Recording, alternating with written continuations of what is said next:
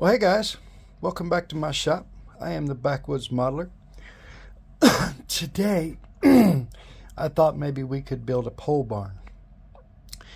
And I'm going to side it with some tin siding that I have over here that I made myself, which I will, will get into how I made this and how I came across this stuff. Really cool stuff. Now, um, I've already got my layout made. Um, you can see if you are wanting to do something like this. Um, I've written all the measurements out on here so that you can make your own. And I'll show you how we're going to make it together today. Um, this is probably going to be a couple of part video just because uh, it's a long video. Uh, it's going to be a long process. Um, I have already measured out all my pieces and I've already pre-cut everything and all we really need to do is glue it together but that's still going to take a little bit of time. So let's get into how we're going to do this. Um, I'm going to do this on some wax paper. So and what we're going to do to cheat is we're going to put our picture underneath the wax paper so you can see we can still see all of our lines then we take our square and we lay it right square dead on our lines because we want to make sure we keep this nice and square. So you can see we're tight on this line and tight on the floor wall or the floor piece. Now, like I said, I've already measured all this out and cut it all out. Um, my square is not long enough as for the building as you can see, but that's all right because I have a bottom plate that I'm going to put on here and that will extend out to where we need it to be. Sticking out a little bit far. I don't like this new square I got here. I'll show you the difference here. I don't have my old one here. I don't like this little hole they put here in the middle. I understand what it's for for pivoting and stuff, but when you're trying to do this small stuff with this small wood, it goes in the hole, so that doesn't help us much. So I have another one at home that doesn't have that hole. I need to bring it over here so we can use it. Okay, so let me get my lines made back up. All right, so first thing we're going to do is we're going to do the back wall. We'll go ahead and set our piece on there where we want it. And all the pieces that I've cut out, I've already numbered. So I know exactly where they go. So um, we're going to cheat. I'm going to use uh, some wood glue to put this together. We're just going to use regular old Titebond, type bond glue and I'm going to cheat. What we're going to do is we're going to squeeze this into a cup because we're basically just going to glue both ends. So all we need is a little bit of glue on each end. So instead of having to drag out my glue bottle every single time, we're going to squeeze some in a little condiment cup here and just dab the ends. So we're going to start here so we're just going to dab the end, just a little bit of glue on the bottom. Start over here in the corner. And just glue those two together. Okay. Now we got that together. And again, I don't know if you can see on camera, but I've got every one of these numbered. So I know which one goes next. And I measured it out on paper already that I'm doing every four and actually every four spots.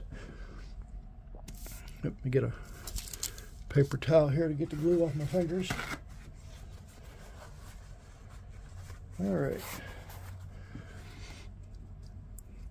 So now we'll just keep going. Just a little dab of glue on each one.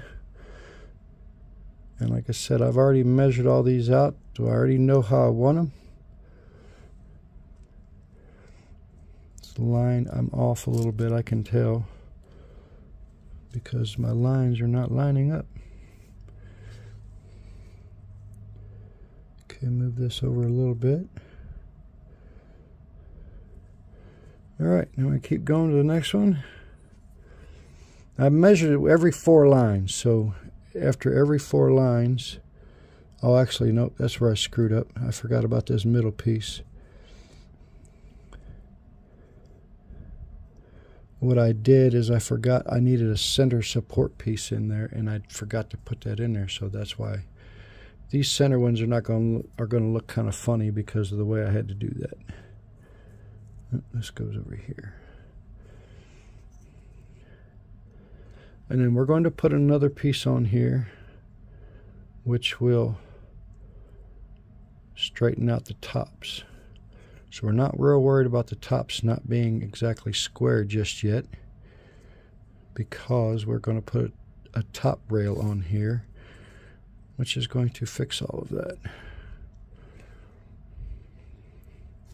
Now these last two here, this barn is going to have a lean-to on it. So these last two are spaced further apart than the other ones because they are going to be outside. This number seven here is going to be the end wall of the building itself. And then the rest of this is all going to be lean-to. So, now let me get a paintbrush. Because I didn't think this part through. Need to get glue on the ends every one of these now. So we can glue our other top piece on.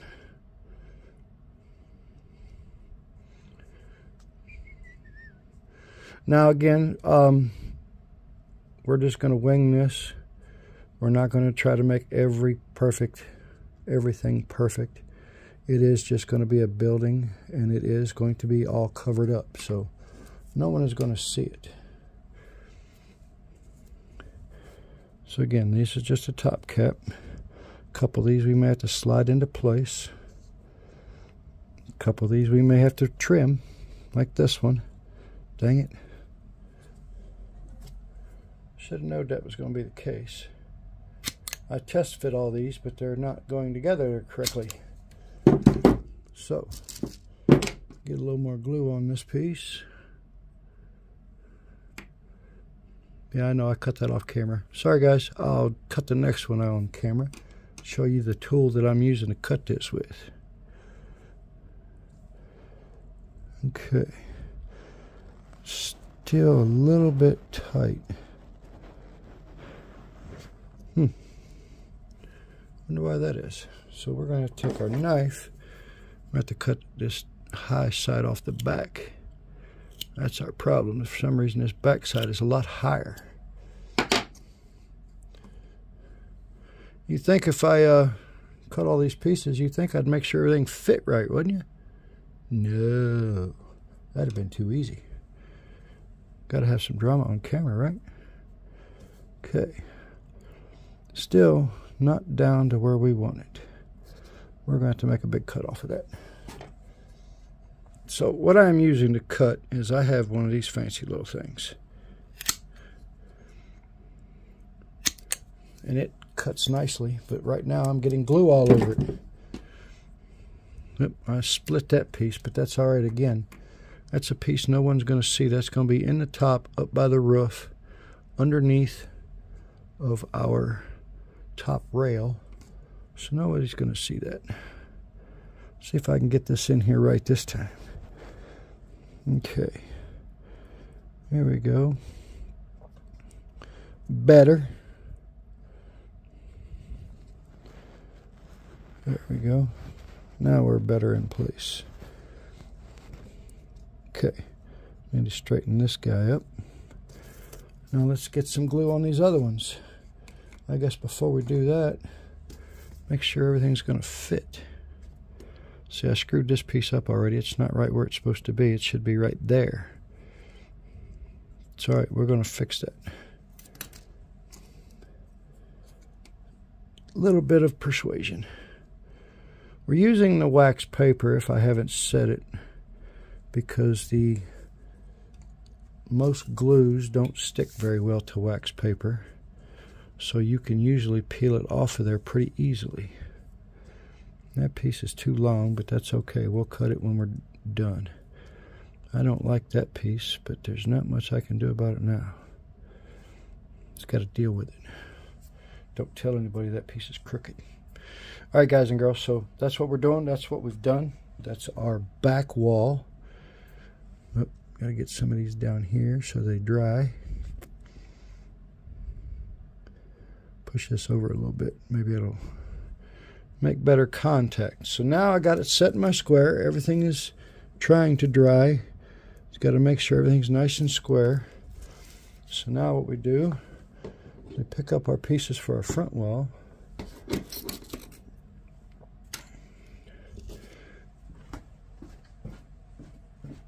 And we're just going to slide this baby straight back out of the way.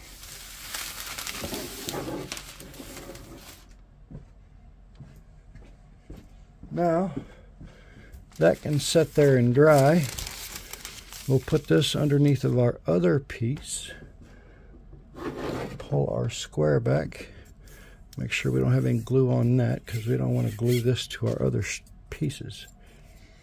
Now, now we're going to build the front wall. I'm going to attempt to try to speed some of this up later, guys, but I don't know if that's going to work, so bear with me. So now we got the front wall set. As you can see, I already got a garage door set in there, and it's going to be the same way as the other one. So all we have to do here is set our pieces up and start laying them out. Whoop, let me get the bottom piece on first.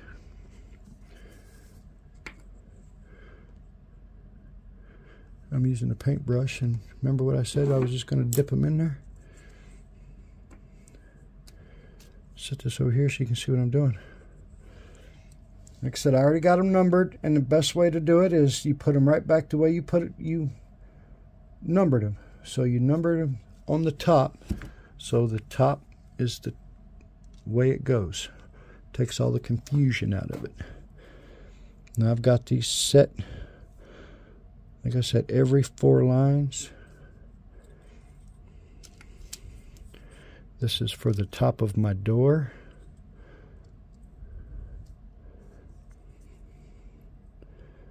Which will go right there.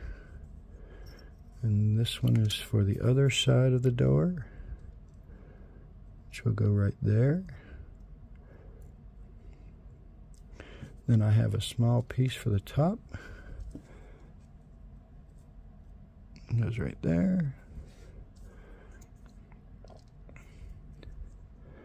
Then my next piece goes here at the end of the building. And then the next piece is going to be halfway there, between there, because this is going to be where the lean-to is. And hopefully I took a picture of this and put it on the thumbnail so you can have an idea what we're building here. So there's that wall. Now this is the easier one. Now again, like I said, I have not put in any windows and doors yet. We're still going to cut those in. I'm not exactly sure where they're going to be. So that's why I haven't put them in yet. This video idea was kind of a last minute deal. I wasn't going to originally film this, but I thought I would show you because there's going to be some processes on here that I've never done before that I found from people on the internet here and they are really cool so we're going to try them out okay so there's that one and there's this one that one's a little short, isn't it? Hmm. They seem to fit earlier. It's okay. The glue will bridge the gap. Alright, so I'm just trying to line all this up, guys. That's the hardest part is you want to make sure everything is lined up perfectly before it the glue dries. Because if not, you're going to have a world of problems later. We don't like problems. Okay, so just about got this wall set. Okay, so there is the front wall. Let's move a couple things around here. All right, so that is basically our front wall, y'all. Now that, that one just needs to dry. Now let's slide my glue and everything out of the way so we can slide this piece back.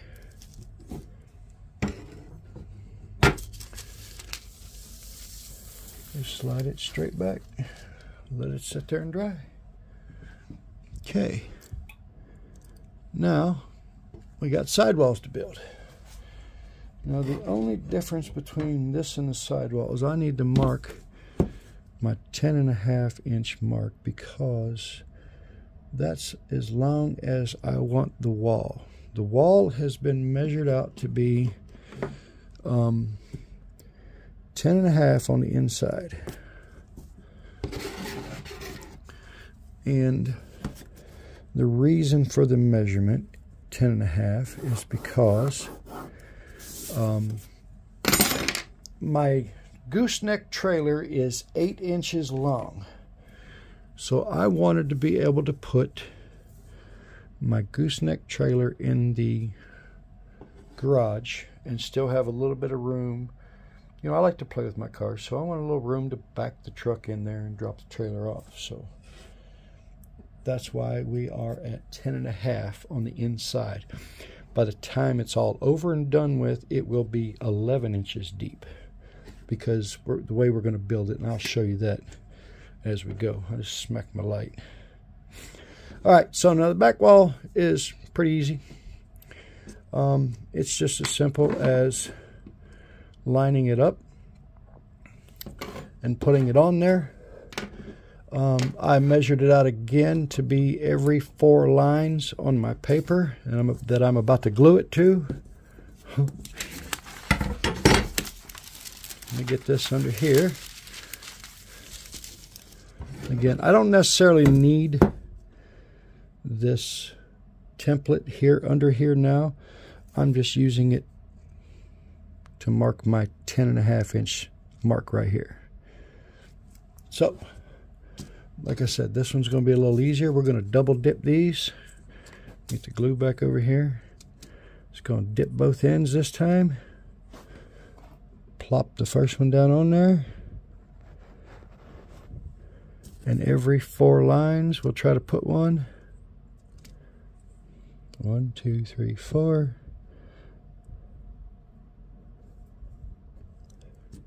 Again, this is pretty good distance apart if you were building this in real life. They wouldn't be so far apart. And the posts that I'm using are a little bit big. I know that. Technically, they would be about 12 inches wide because I'm using quarter inch basswood. So the walls would be made out of 12 inch posts. And I know that's a little bit big, but that's all I have to use today, fellows, ladies and gentlemen. So we're using what we got. Not enough glue on that one. Okay, again, this is the back wall, so we're just trying to make it look uni universal or not universal, but making it look symmetrical. How's that? Now these I've already cut, so these should all be perfect in line. Just want to straighten them up a little bit so that they dry nice and straight. Okay. So there's that wall. Now again, I'm building these walls a little bit differently. Um, one wall is going to be two and a half inches tall. The other wall is going to be two and three quarter inches tall. And the reason being is because of the way the roof is sloped. So that's why that is. Now, this one's done. This is just one of our side walls. So let that get that out of the way. Let that dry. All right, guys. Last of the walls. Get this on here. Holy cow, 19 minutes already. I'm going to try to speed this up, like I said, but I don't know how well I can do that. Alrighty. There. It's my bottom plate, top plate, and there's all the beams, I guess you could call them tap this in here. Tell you, this makes it a lot easier, guys and gals, when you pre-cut everything. because that takes a lot of the a lot of time out of it. Again, this is going to be just like the other one. I don't have to have these exactly perfect. We just want them about every four lines apart.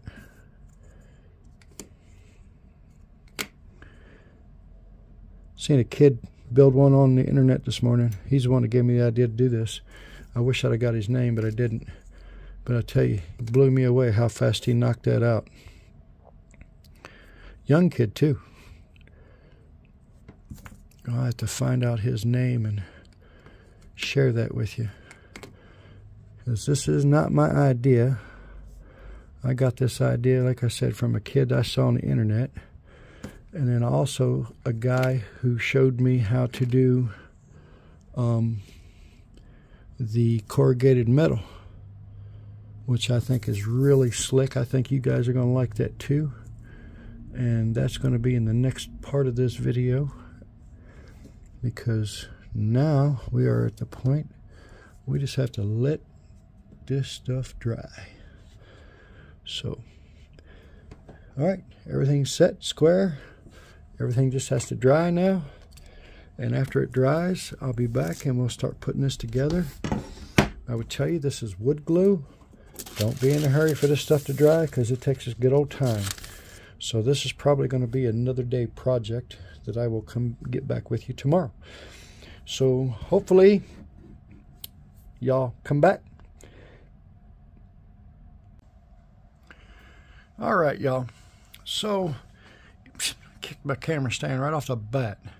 Um, it's been actually a couple of days now. Um, still been having some problems with the uh, roof leaking, so um, actually had to get them in here and re-roof the back of this house because the patching just wasn't working. So this has had plenty of time to dry. So what we're going to do now is we're going to start putting it together. Um, so this obviously is going to be the front. And this will be the back. And I'm put my marks on the wrong side of the wall. So I'm end up having to remark the back wall. Not a big deal. So like I said before, I got one wall taller than the other one. I'll slide this back some. And that was because of the way the roof was line was laying out. So that is about what we're going to be like, ladies and gentlemen. If I don't quit knocking, if I can quit knocking these walls over. And I got this one on the inside turned around. All right, what I did is I already made my lines I don't know if you can make them out. I've got three different lines here for where the supports for the nailer boards on the outside are going to be. So there's that. I'm just going to start gluing together, y'all, because it's obviously not going to stay together. So, all right, so that's basically what we're going to do. Let me back my chair up so I can get over here. Because I actually have to stand up for this one. All right, so we're going to do is we're going to take our glue cup here. We're going to get some glue out. And we're going to paint the back side of this really good. I probably could have just used a glue bottle for this. So to put a real good bead of glue on this because this is going to be a, an important glue joint. All right. Now we'll flip it over here so we can get the other side. I don't know if I'm in the view of the camera or not, y'all, because I am standing above it instead of sitting behind it like I normally do. All right, so now we got that one. Got plenty of glue on both sides. Put our paintbrush down here. Somewhere it's not going to fall over.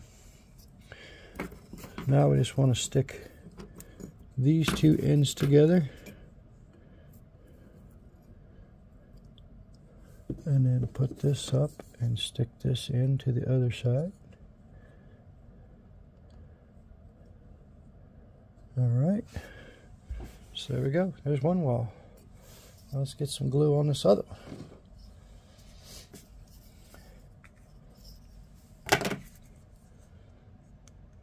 All this room I got here, y'all, and I'm still having problems trying to film this stuff. And I'm probably not in camera, and I apologize for that. Because, again, I can't see.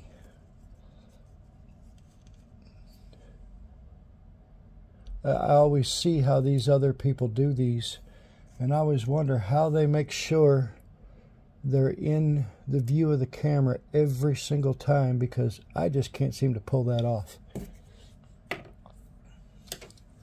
Okay, now let's get this wall in. Touch it to this stud where it's going to be there.